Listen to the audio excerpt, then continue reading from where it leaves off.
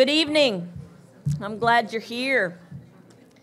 Um, I don't normally sit when I teach, but uh, Friday I was diagnosed with the shingles, and so I'm not, I don't have the worst case, but for some reason, um,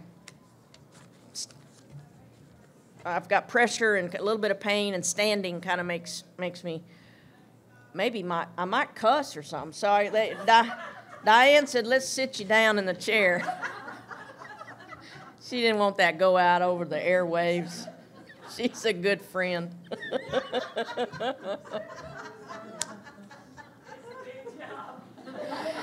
it is a big job, isn't it? She's got the whirlwind by the tail sometimes. Well, let's pray and ask God to come. Lord Jesus, thank you so much for being our um, bridge to know God as our Father. And thank you, Abba Father, that you hear our prayer and that it is your intention that we will know you, that we will live in your presence, that even if we, like David, forget who we are and forget who you are, thank you that you never forget and that you have the path for us to come to you um, no matter what we believe and no matter where what wall we run into no matter what difficulties that we see ahead or find ourselves right in the middle of. So i pray for the people here. I pray for the people on facebook. I pray for the people who'll be watching this on youtube.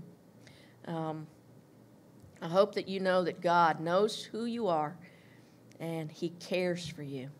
And he has a plan to give you a future and a hope. And father thank you that you do. And be the mouth. Let's just let me be the mouthpiece tonight, Father. And I'm just grateful for another opportunity to speak well of your name. And I ask it in the name of Jesus. Amen.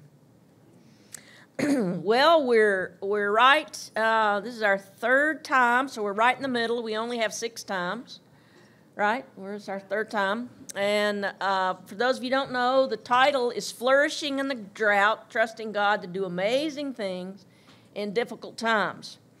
And you know, I've been thinking a lot as I, you know, in January, if you're a, a gardener or you like flowers, you start getting the catalogs. They start coming sometimes the end of December, but they don't usually mess with Christmas.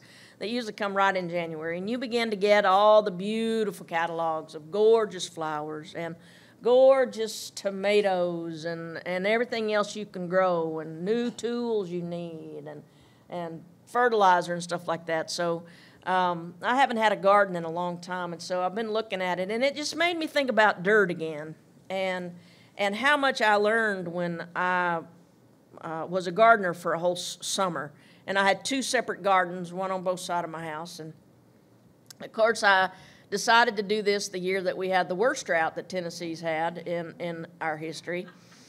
So I was siphoning stuff off my bathtub water and, and my, my, my, my sink water, and I was out there and I had a um, some sort of infestation, and I had like over almost 200 tomato plants, 100 on both sides, and, and I was having to touch each leaf on each plant. And uh, um, my, my, my little farmette, I call it, is right on the road, so my, my gardens were right where people would go by, and, and if you're out and you're working a lot, you just get frustrated. You know, stuff breaks and water goes everywhere or something. I'd be kicking something just not cussing, but I would just be hollering. And then there'd just be farmers coming back and forth. And, and I'd go, hey, yeah, it's been a great day. It's been a great day out here. Um, and I learned that my soil is very A, rocky. I don't have a lot of dirt. I seem to have more rock than dirt and then I have clay.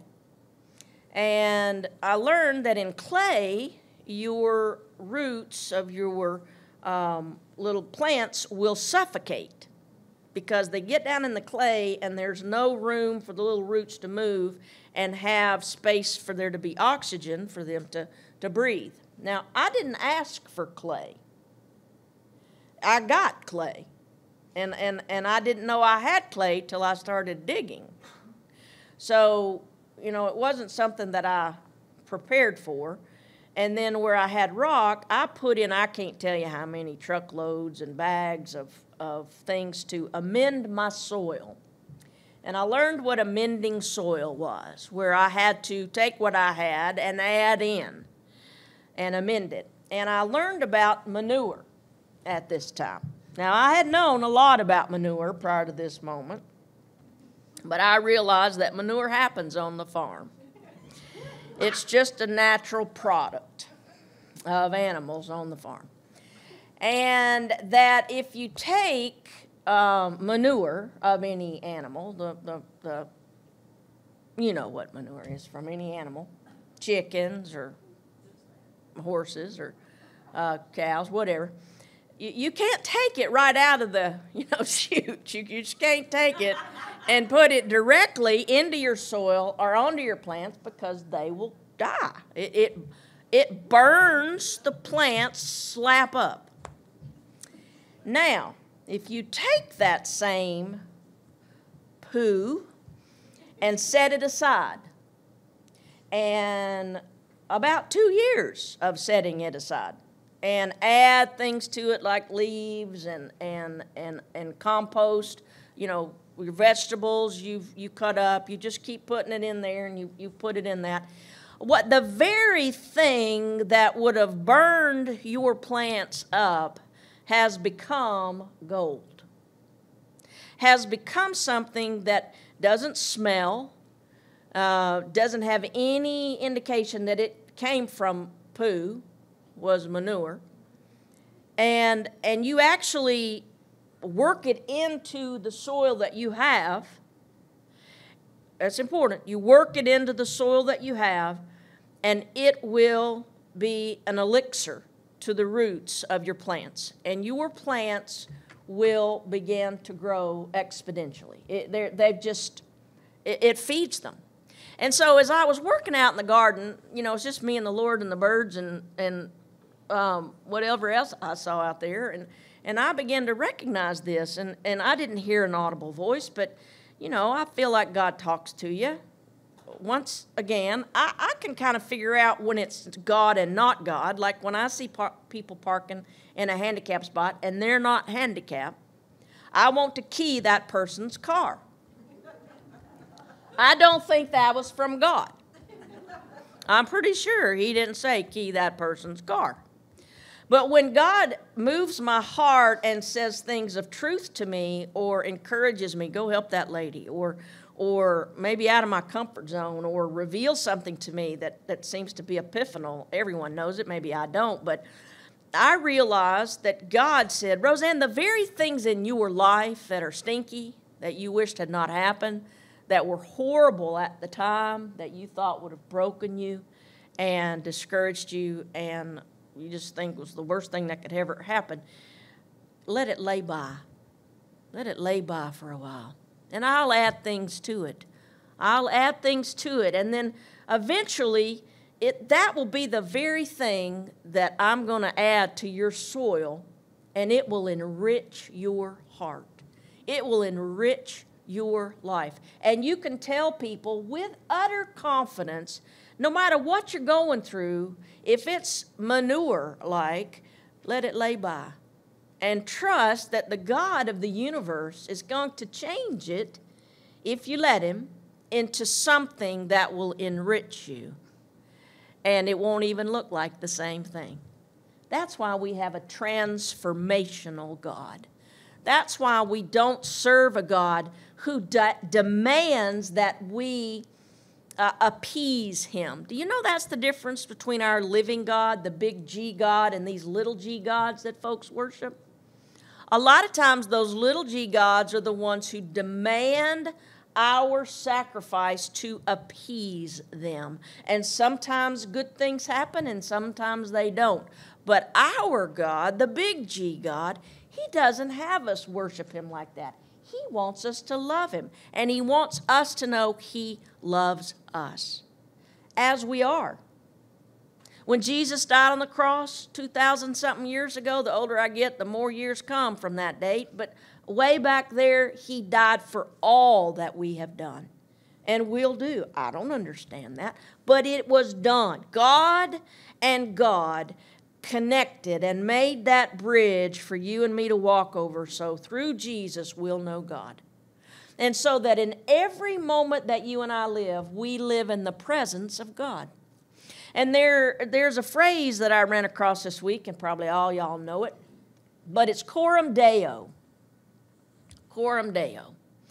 And, and you know, what does that mean? Most of us, if we see deo, we know it's God, something about God, especially since it's a capital. Um, and what it literally means is it's to live coram deo is to live one's entire life in the presence of God bless you, under the authority of God to the glory of God. Every moment that you and I live is to live our entire life in the presence of God. And if we believe what we've been taught and what we read in the Word, um, if you even go back to Psalm 139, if you want to go back to the Old Testament, don't even talk about Jesus at this time. God, it, the, the psalmist says, He knows when I rise up and I lie down. Before there's yet even a word on my tongue, He knows it. He knew me before my inward parts were formed in my mother's womb. He saw me while I was still in the earth. And He said, Even though I take the wings of the dove or I descend to the depths of hell, God is already there. He knows me. We have that kind of God. So when difficult times come, some of us will ask, why? Why is this happening? And I don't mean just you get a parking ticket or those are important things. But when we have things happen to us that we just don't know why. Miss Helen used to say, Those are tests, Rose. God is testing us to see what's in our heart. And I said, Really? She said, Yeah, go back. Do you got your Bible? you know, I say that. Do you got your Bible? You got a piece of paper? Yes, ma'am. Do y'all? Look at Deuteronomy chapter 8.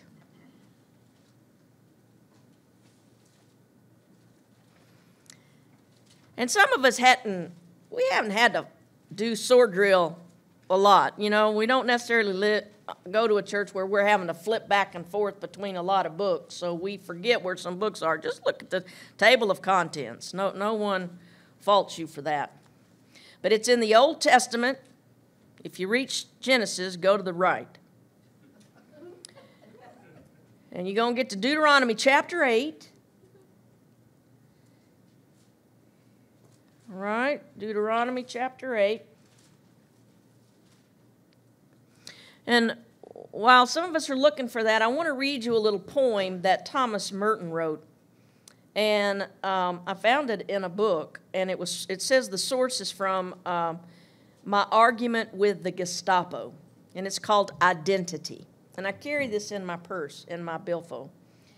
It says, If you want to identify me, ask me not where I live or what I like to eat or how I comb my hair, but ask me what I am living for in detail. And ask me what I think is keeping me from living fully for the thing I want to live for. Ask me what I think is keeping me from my living fully for the very thing that I say that I'm living for. Sometimes I know in my life it's easy to talk about Jesus, it's easy to talk about trusting God, but when the rubber meets the road and the manure is on the ground, eh, it's hard to sometimes see ahead that God is in charge. But when Miss Helen said, sometimes God tests us, I thought, well, He tests me all the time. I don't get a break. But I see that there's a plan and a purpose, and look what He did with the children of Israel.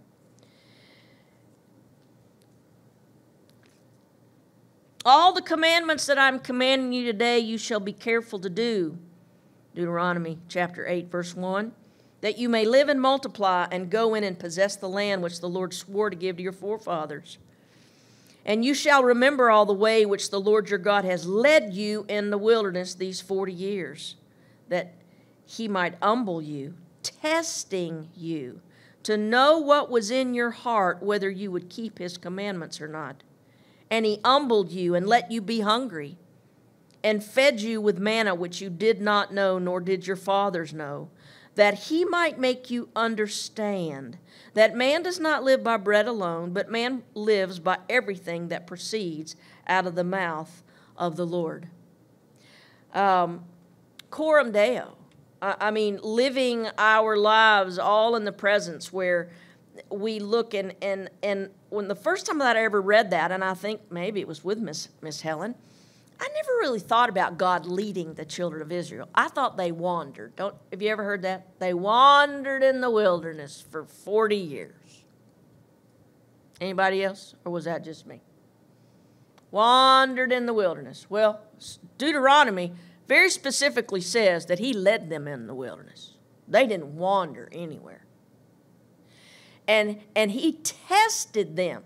Now, have a little Talk back to me. Why did he test them? See what was in their hearts. If we never have tests, if God, if we never let God test us or scratch the surface, then you don't know what's in your heart. You just know what comes out of your mouth. It's easy to talk good about what you can do for God and how much we trust God. But when we really have to see in the test, it says, and He humbled you. I don't know one person who likes to be humbled. Yeah, no. We don't like to be humbled. It says he humbled you and let you be hungry. We would think that's bad. Why would God allow us to be hungry? And this is just not physical hunger. Hunger. I have talked to a lot of, of, of folks and said, you know, that might be hunger in your life for relationship, hunger in your life for many different things. And there's a good question to ask yourself what am I hungry for today? What have I asked God to fill in my life that I, that's not been filled? What are you hungry for? It says that sometimes He lets us be hungry. Why? So He can feed us with a manna that we don't know, nor did our fathers know. Why? So that we might learn that man does not live by bread alone, but by every word that proceeds from the mouth of God. We do not learn that unless we're hungry. We do not learn that unless we let God provide. And I'm saying in this moment, in this day, we live in a nation where most of us don't have to, to want for food. Most of us don't have to want for electricity. Some of us, we might not like what we wear, but we got stuff to wear. We might not like what we drive, but most of us can get where we're going.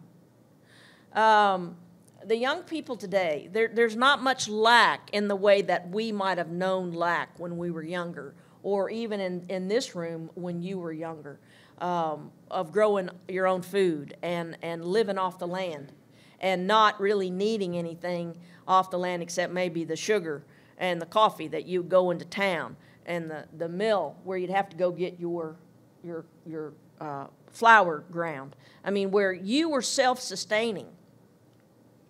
But I go back to this and I say, You're testing us. And that's very difficult. That is very difficult. We talked about David last week. We talked about David, and you can flip back over to 1 Samuel chapter. Uh, let's remind ourselves what he did in chapter.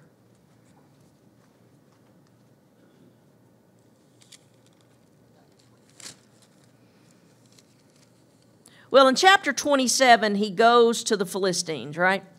He flees to the Philistines. Why? Because he forgot he was going to be king. 1 Samuel chapter 27.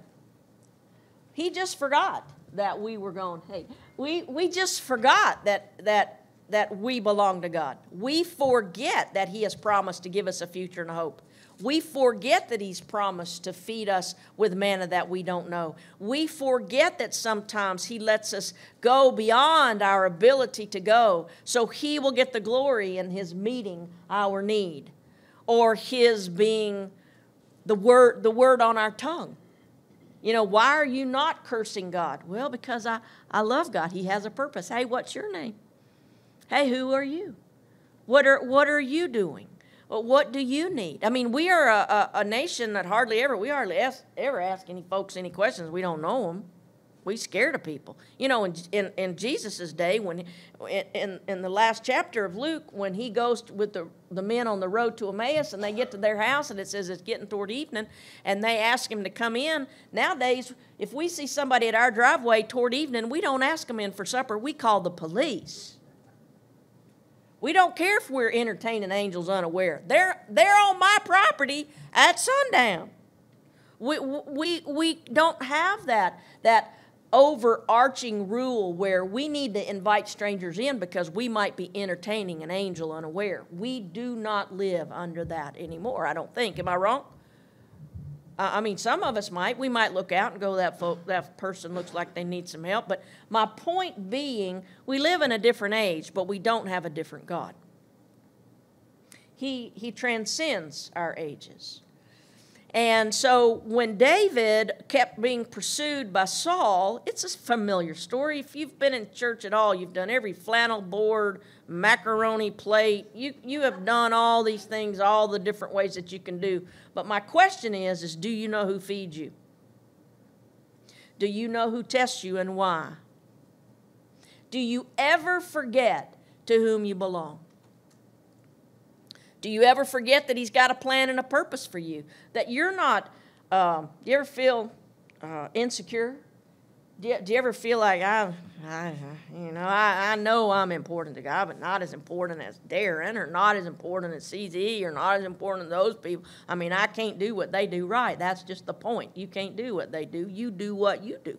You have to know that you have worth in the eyes of, of the Lord.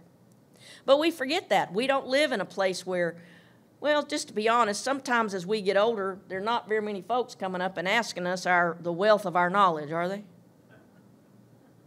They're, we're like, well, I'll, I'll help put food on the table over here, or I'll help clean up, or help in the parking lot, but they're not asking you the wealth of your knowledge. Well, it's one day they will.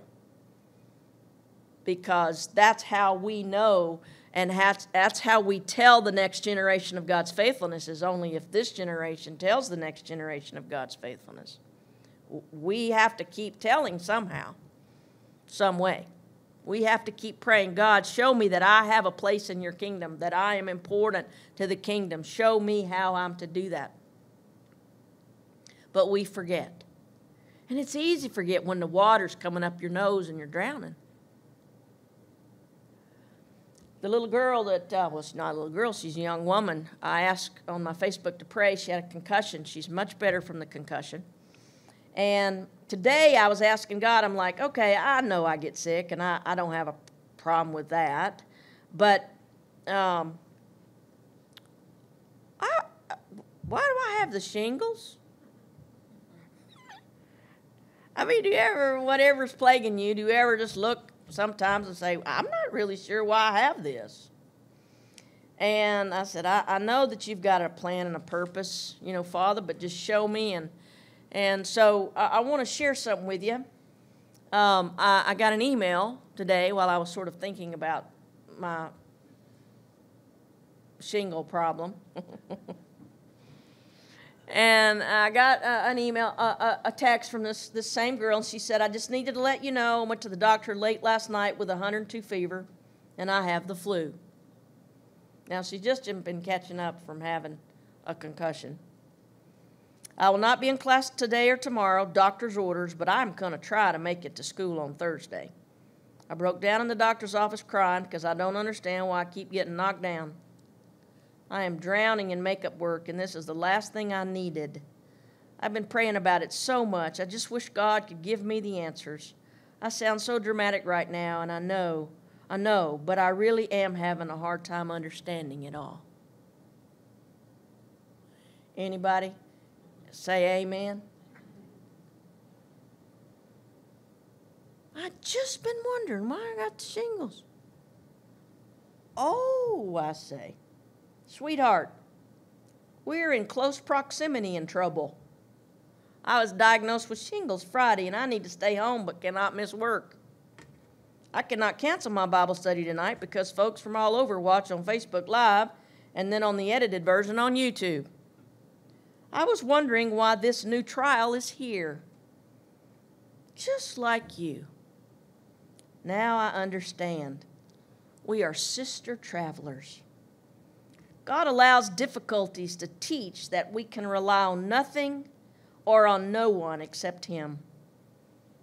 We are strong, determined women, which is good, but we must see with our own eyes and taste the tears of our own disappointment and frustration that we cannot do anything on our own. We have to trust God, even in our weakness, seeming failures and limitations. Concussions, flu, shingles, depression, anxiety, troubles. My spiritual mom, Miss Helen Wright, used to say that God allows suffering to come to those he has called to a deeper relationship with him, not just to suffer, but to see God in new ways. Makeup work, missed classes, all will work out. You will graduate. You know, sometimes you just need to say some you just need somebody to say you're gonna be okay. Don't you? Even if they're your same age and they're in the same boat you are. You look at each other and go, We're gonna make it. At least for today. You're gonna pass, you're gonna graduate You'll get through this. However, through, quotes, is the important word. And I can guarantee that God will take us both through what now appears the insurmountable problems. Now, just rest. Do not return until you're well and strong. Then we will see how God will provide. Sister sojourners, glad to be on this journey with you. Cry if required, if we're cry if required but try out your trusting shoes. You will see me just a little further up the path saying, Come on, it gets better and better. When you feel like responding, let me know what you think. Now, see, if I had not been in a hard place, wondering myself, not to the depths of this, because I have, this is not my first rodeo. Most of us, we've been through quite a bit, right? then I'm able to reach back and grab the hand of a new sister and say, you know what, sweetheart, it's tough, but we're in this together. And God is showing us who He is. Like David, she's got to learn she's anointed, she's God's anointed. But when he fled to the Philistines, he totally gave up what was to be his. And you know what? I don't think we ever get too old to ask ourselves, what did I give up on? What have I given up on that God really wants me to remember? Whether I'm 9 or 19 or 29 or 90. Is there something I just gave up on because it just got too hard? Or I've tried to outwork God? Have you ever done that? In my my growing up, we just serve. Don't you serve? You just do all you can. You're supposed to do that. But I don't see one place where he says, serve me before you love me. So I and me, I, it's a lot easier for me to serve than just being obedient. How about y'all? I'd whole lot rather put out the food on that table on Sunday mornings than to be nice to somebody I don't like. I got a few of those. It's all their fault, but.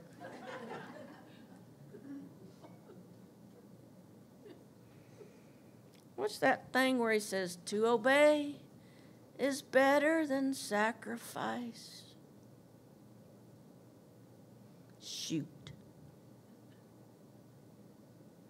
God knows us.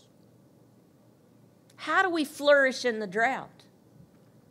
We say, God, you got to be through me to the world. You've got to give me the water of your spirit in the midst of this difficult time. And we're getting to a point where some of us are going to be in those places where, as our bodies keep going back to the earth, it's going to be harder and harder to do the things that we're used to doing. But even in that state, we're able to say with our hearts and our mouths, Blessed be the name of the Lord. Devil, it doesn't matter what you bring. Blessed be the name of the Lord. Devil's never done anything for you. Don't start listening to him now. Whose voice are you listening to? What things have you put aside because you think they're manure and they're really not going to bring any glory to you at this moment? It'll be the very thing possibly that God's going to bring back up. We don't necessarily have a generation behind us who, who knows what it means to lose. Let's just say this lose well. I don't think I've ever seen a group, and I don't say who you voted for, not voted for. I don't think I've ever seen a group be so upset by who didn't get president or who did get president and just won't shut up. I mean, I'm just like, have you never lost a ball game? I mean, Alabama, we lost this year, but we working for next year. We're getting folks to get in there, but we don't sit around and gripe every day. But that's just my own personal how it happens, you know. I'm just like, I would really like someone to be running the country. Eh, but I, I, I just couldn't. Sometimes, eh, right after the,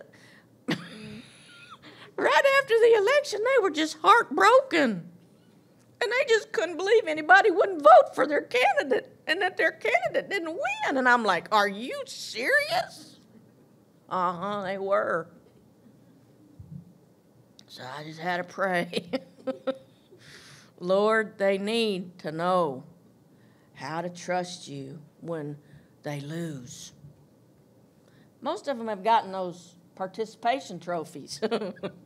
that doesn't help when big stuff goes wrong and you don't get the trophy. But I understand, don't you? I mean, it's hard to take it when things don't work out because they're just things that seem like they should be and aren't, you know what I'm saying? How could God not allow this to happen?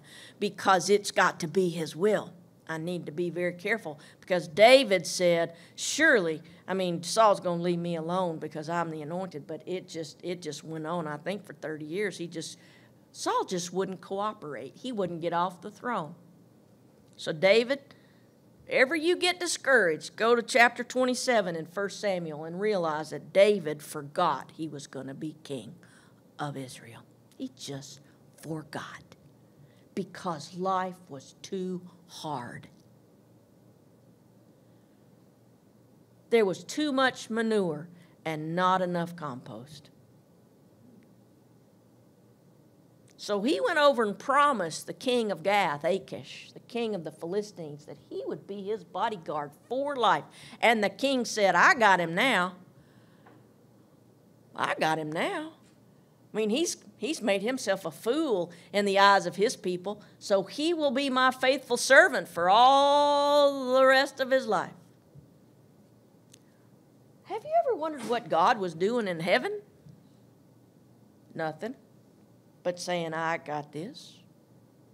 Now, I believe the Bible says we have angels who guard us that the Lord sends angels to do his bidding. And, and, and if we believe the scripture, it said this room is so filled with angels we should not be able to move if we could see them.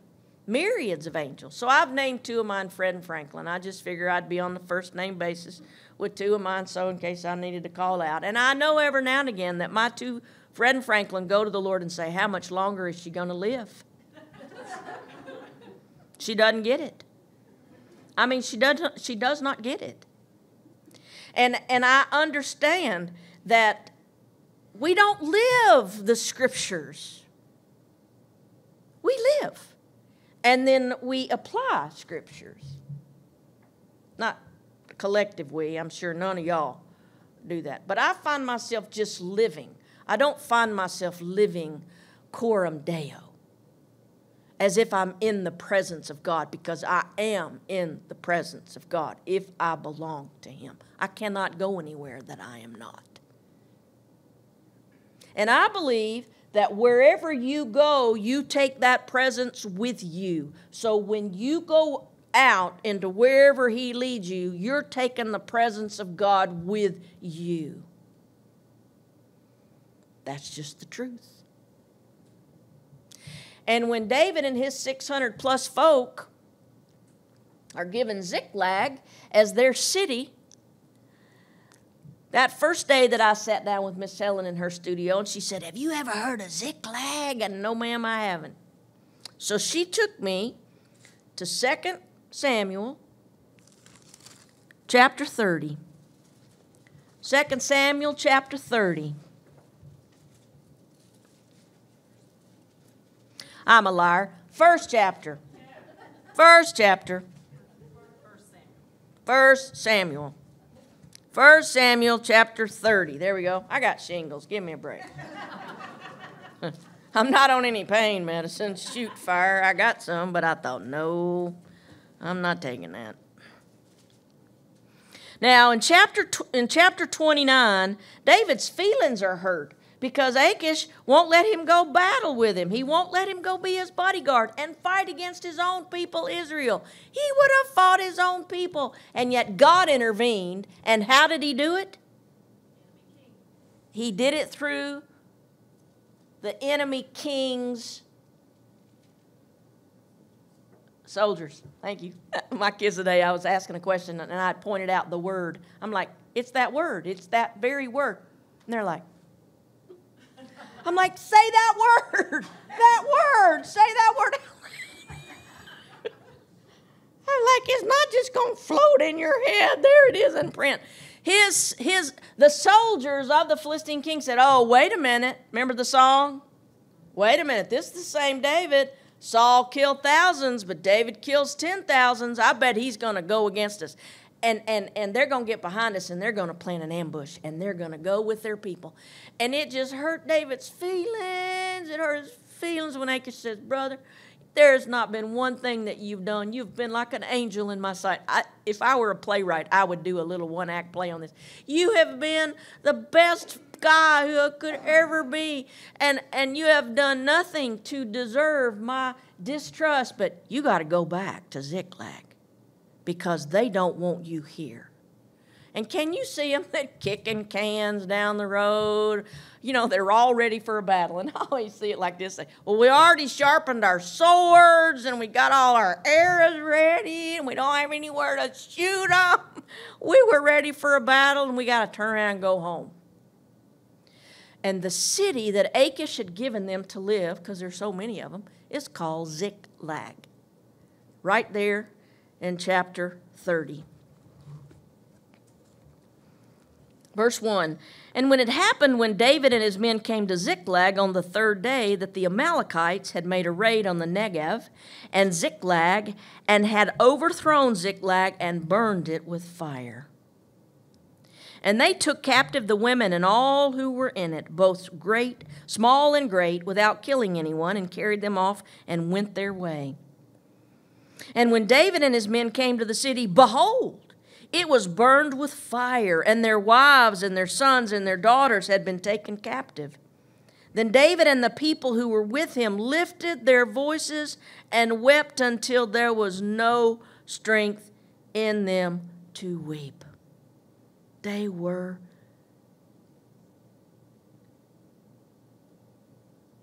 done, undone. They were undone. Now, these are all men, right? Because the women and kids have been taken off. These are the warriors.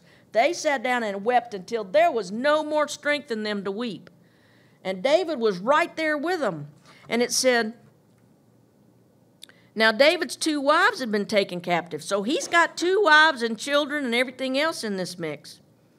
And I love this story, it just gets better and better. Verse 6 Moreover, David was greatly distressed because the people spoke of stoning him. I believe I would have been distressed myself. For all the people were embittered, each because of his sons and his daughters. But David strengthened himself in the Lord his God. And as Miss Helen was telling me that story, she stopped and she looked at me and she said, You would like to inquire of the Lord. You would like to know God like this, huh? I said, What do you mean? He said, David strengthened himself in the Lord his God. Okay.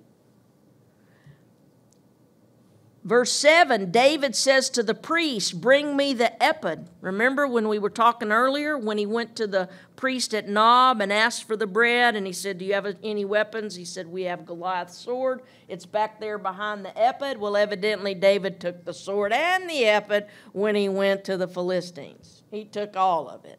And so he asked for it to come because you don't see David in the entire time that he's fighting with the Philippians, Philistines calling on God. God's not in these chapters. You don't see his doing what he has done previously. When you're in the wrong country, the wrong place, you don't normally call on God. If you look at your life and you say, you know, it's been a while since I've had a conversation with God, well, you need to check where you're living. You might be in the wrong country. You may have forgotten you've been anointed. You may have forgotten God had something for you. You might be in a relationship where you should not be. You may be in a marriage where you're in a mess and you're in a bunch of mess. And, and it's difficult. And you're just as bereft as these men. And you've wept until there's no more strength in you to, to weep. And what, what you have to do is you call for the but you call on God. And this is what David said, what it says in verse 8. And David inquired of the Lord, saying, Shall I pursue this band? Shall I overtake them? And he said to him, God spoke to David, Pursue, for you shall surely overtake them, and you shall surely, you shall rescue all. So David went, he and the 600 men who were with him. They got to this river, this brook, and, and 200 of the men were just too tired to go on. So he left 200 men on one side of the brook, and 400 men and David went across and, and pursued the Amalekites. And they found an Egyptian, and, and, and uh, you know, they're asking him what happened, and, and um, it said that they were all dancing and they're spread out over the land. Verse 16, they're eating and drinking and dancing because all the great spoil that they've taken from the land of the Philistines and from the land of Judah. Verse 17, and David slaughtered them until the twilight. Until the evening of the next day, not a man of them escaped, except 400 young men who rode on camels and fled. And David recovered all the Amalekites had taken and rescued his two wives. But nothing of theirs was missing, whether great or small, sons or daughters, spoil or anything that they had taken for themselves. David brought it all back. When Miss Helen finished that story, she looked across the little card table at me and she said, You would like to inquire of the Lord like that, wouldn't you? And I remember looking at her and I said, If it's available, why wouldn't we all inquire of God? I mean, if that's available, I am 28 years old, been a Christian at that time, been a Christian since I was five, been brought up in the church, been to Bible studies once I got to college and, and got out of my Baptist college, which was academic excellence in a Christian environment. They locked us up at night. We didn't learn a whole lot about God. But once I got out of there and was in a Bible study and began to learn, you know, the Bible, I began to see a way that you live, but I just didn't know how to do it. I, I, I just couldn't make that connection.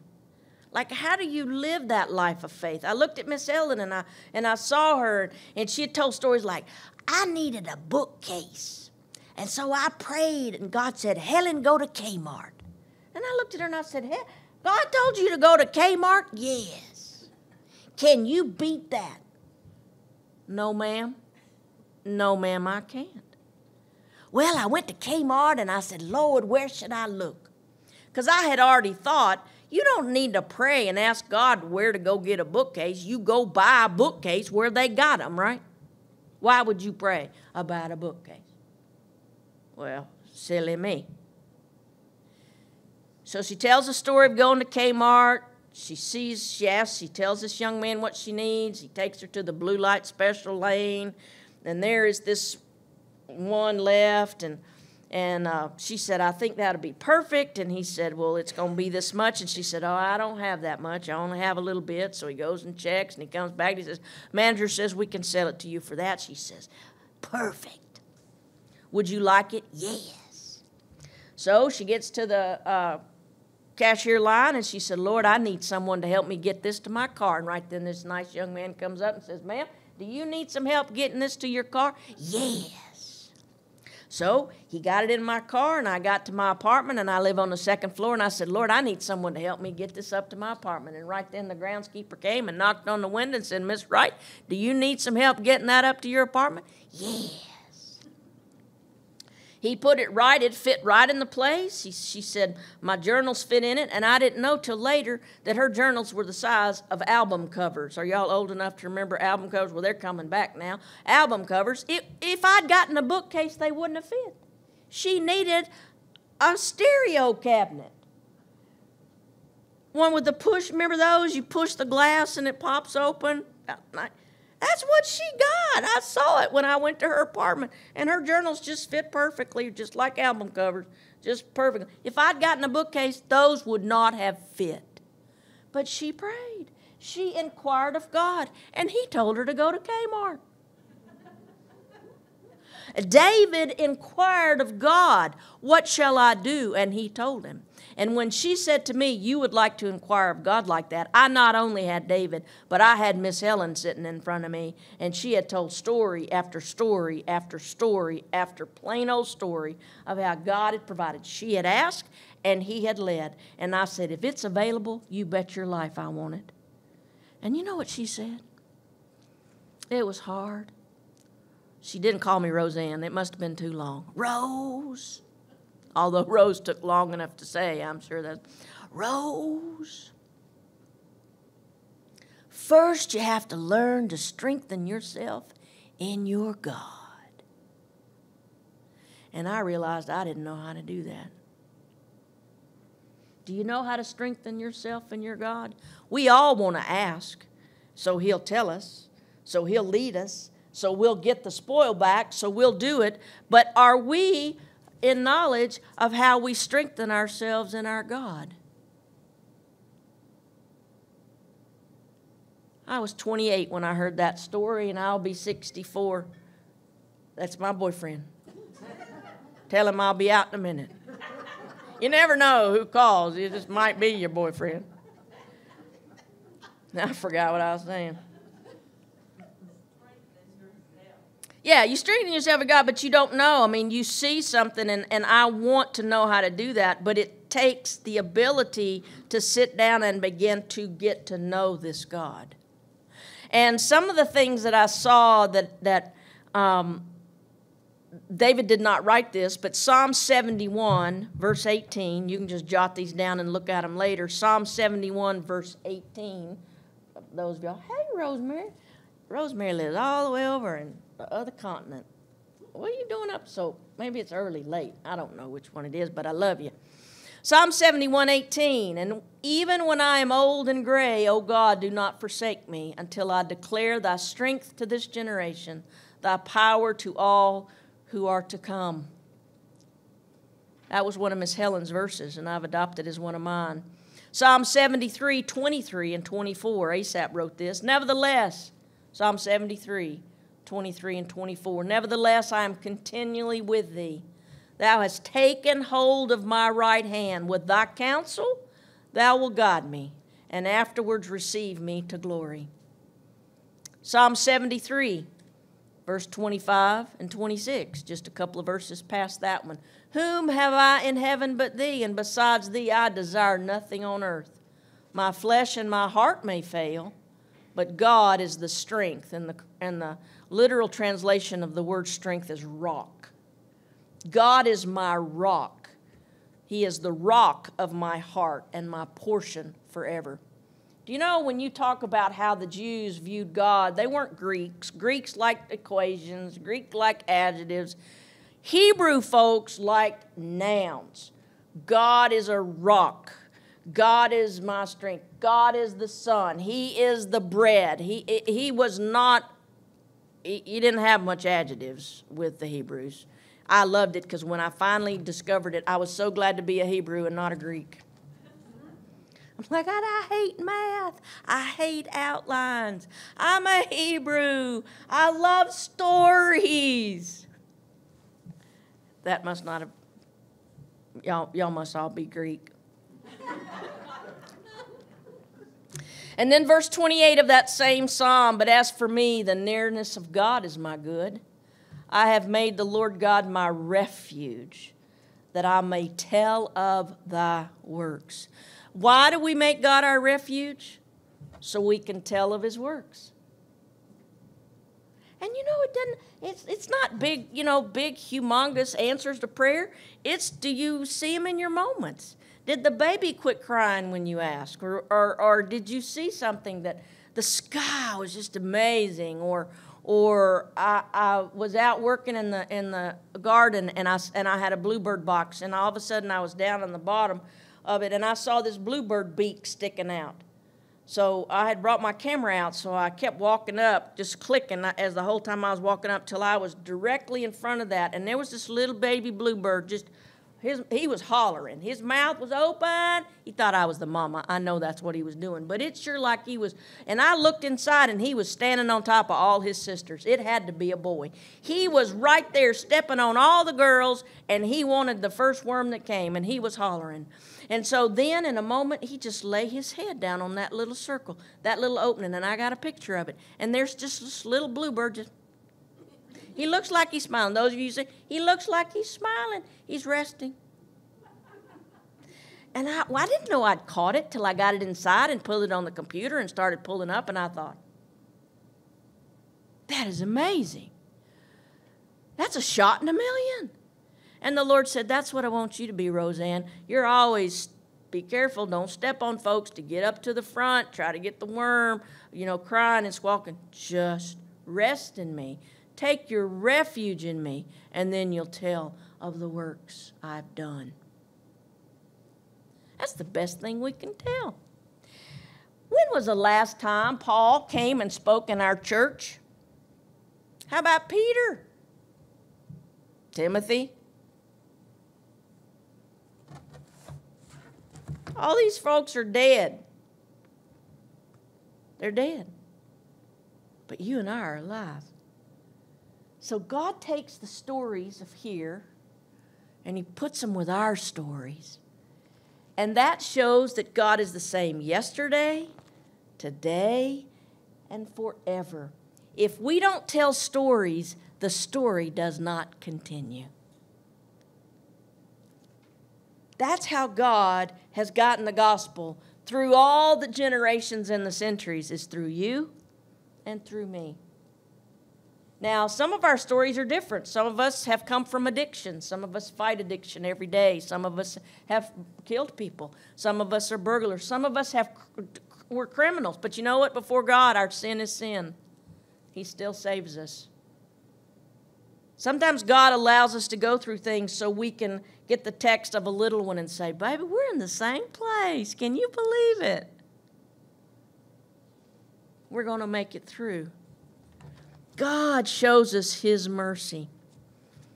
Now, this is a Psalm of David, and if you will, turn to Psalm 40. Turn to Psalm 40, verse 1. Oh, I'm a liar. Let's go to Psalm 34. We'll look at Psalm 40 another day. 34, Psalm 34. This is the one I want to talk about just to finish up with because this is the psalm that David wrote after he dribbled and scribbled on the gates of, of Achish. Remember that last week when he acted like a madman? He got afraid, he got scared, and so he acted like a madman and he just scribbled on the gates. And the, and the king said, Do I not have enough madmen in my kingdom? You have to bring another one? I just think that's funny. The Bible is really funny if you'll read it out loud. I mean, I just think that's funny, Can the king. We're going to maybe next week. We're going to look at Jehoshaphat and Ahab. That has got to be in, in 1 Chronicles 18. That's got to be one of the funniest things that's ever written in the whole Bible. What they say to one another. How do you, it, that's funny. Okay, Psalm 34. And it says in my Bible, a psalm of David when he feigned madness before Abimelech, which is Achish, who drove him away and he departed. And this was the result after David saw that God cared for him and provided for him, this is what he wrote. And my, my encouragement to you this week is to think of something God has brought you through and you didn't deserve it. Okay? He just rescued you. What would you write? What would you write down in praise of God and telling others what he's done. This is what David wrote I will bless the Lord at all times, his praise shall continually be in my mouth. My soul shall make its boast in the Lord. Now remember, when his, his boast was in himself, he got afraid and he dribbled and scribbled. Remember? When he had his own trust in himself, he got afraid when he when he was put in that position. So he's decided, my soul will make its boast in the Lord. The humble shall hear it and rejoice. Oh, magnify the Lord with me. Let us exalt his name together. All you dribble and scribblers, let's all exalt God's name together. He does not remember our foolishness. If he did, none of us would make it to heaven. I sought the Lord. I inquired of the Lord, and he answered me and delivered me from all my what? Fears. What can take us down quicker than shingles or the flu? Fear. I get afraid. They looked to him and were radiant, and their faces shall never be ashamed. This poor man, this afflicted man, literally cried, and the Lord heard him and saved him out of all his troubles. Miss Helen is the first one in 1983 to read me this psalm, and I sucked it in like sugar water to a diabetic. I was so wounded. I could not believe that there was a psalm that spoke my heart. I was afflicted. You mean one day I'll be not afflicted? I'll be able to say that I sought the Lord and He delivered me from all my fears? Yes. Here it is the angel of the Lord encamps around those who fear Him and rescues them. Mine, I've got Fred and Franklin right there. Oh, taste and see that the Lord is good and blessed. How blessed is the man or woman who takes refuge in him. Second time we've seen the, the word refuge. Oh, fear the Lord, you his saints, and to those who fear him there is no want. The young lions do lack and suffer hunger, but they who seek the Lord shall not be in want of any good thing. Now, some of you are hearing this way over in, in foreign lands, and the night your belly's rumbling, and, and you don't have adequate shelter, and you know children who are refugees and they don't have what they need. We lift it up to the Father because somehow, some way, it says, Those who seek the Lord shall never be in want of any good thing. Make it so, Lord Jesus. Make it so. Help us to make it so. Come, you children, listen to me. I will teach you the fear of the Lord. Who is the man who desires life and loves length of days that he may see good? Keep your tongue from evil and your lips from speaking deceit. Depart from evil and do good. Seek peace and pursue it. The eyes of the Lord are toward the righteous, and his ears are open to their cry. The face of the Lord is against evildoers, to cut off the memory of them from the earth. The righteous cry, and the Lord hears and delivers them out of all their troubles. That has gotten me through many a dark time. The Lord is near to the brokenhearted and saves those who are crushed in spirit. Some of you hearing this today are crushed in spirit. It's, life is not just hard, your spirit is crushed. Then go to the Lord lay on the floor in front of him and say, If you don't rescue me, I will not be rescued. Because only God can rescue us. Why? Because we want to be independent, we want to take care of ourselves. That's the American way. I'm not saying that we're not supposed to, but what I'm saying is is that he keeps coming back and saying, "Little children depend totally on me." And that's something I have to constantly go back to. How do I do that as a strong woman? How do I do that as a single woman? How do I do that in trusting you? 19 Many are the afflictions of the righteous, but the Lord delivers him and her out of them all. He keeps all his bones, not one of them is broken. They refer back to this about Jesus. None of his bones are broken. Evil shall slay the wicked, and those who hate the righteous will be condemned. The Lord redeems the soul of his servants and none of those who take refuge in him will be condemned.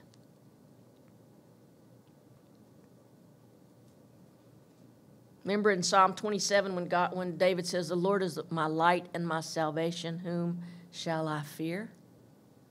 You have to keep saying this stuff to yourself over and over again. Why do you think David keeps saying it in his songs? Because he needs to hear it.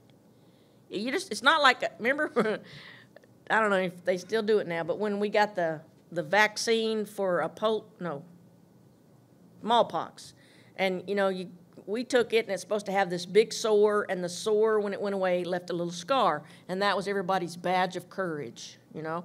That was our honor, that little thing. Well, mine didn't take. I didn't ever get a blister, so I didn't have a scar. There I was in first grade, no scar. And they're like, What's wrong with you? You gonna have to, you gonna have, you don't have a scar. And I'm like to my mom, I don't have a scar. Nothing happened. So she had to take me back down to the little lady and say, Got no scars. They gave it to me again. I got this little, I must be really healthy. She got this little bitty thing, and I got this little bitty scar, but finally I got a scar. You know, some of us, we have these badges. We still have them. We do. Some of them were really big. They were like craters. You know, I'm like, oh, yuck. And some of them had to have the, remember, they had to have that big old thing over them, taped over it so nobody would touch it. So no, can't touch that. It'll mess up the scar, I guess. I don't know. But we all have those badges that we wear and we go, you know, I've I've trusted God and He's He's taking care of me. And I just we just need to say, in all of us in our lives, He is our light and our salvation. Not anything you've done. Jesus did it on the cross. He paid for our sins. He paid for you and me to be here and be able to read this. He paid for when Diane and I and other people get to go to foreign nations and tell about Jesus and see his wonderful works. And and I can't explain it. I can't explain it. But I know he's with us. I know he's directing us. And I know it because Coram Deo we're living in the presence, doing everything in the presence of God. Let's pray. Lord, help us know what our identity is. Help us to ask ourselves what's keeping me from, from doing and being the thing that I say is the most important thing in my life, what I say I'm about. I think a lot of people who follow, who say they're Christ followers, um, it's easy to say those things, but when things get hard or uh, when it keeps going, we're, we're we are quick to, to say, I'm just struggling. I, I just don't know. And somehow it doesn't really matter. I remember that day when Miss Helen looked across the table from me and said, You want to know how to inquire of the Lord that way, don't you? And I said, If it's available, I sure do. And I am learning still how to strengthen myself in you, Father. That doesn't mean we don't like football. That doesn't mean we don't enjoy things. That doesn't mean we don't have things. That don't mean anything. It just means that we are learning to strengthen ourselves in you and to be aware of your presence and acutely aware of your sovereignty in everything. So I pray that you go with all of us this week, all who are listening, all who will hear. Share this with friends and people who need to have hope. There is no hope except in the Lord all else fails. Thank you for another opportunity to speak well of your name, Father. And I ask this in the name of Jesus. Amen. Next week, we're going to look at Jehoshaphat and Ahab. So we're going to look at that's going to be Second Chronicles. Just start with 18. Start with 18. We're going to read, there's background information that you need, but we really get into the story. Well, we get in the story in 18, we really do. And then we'll go through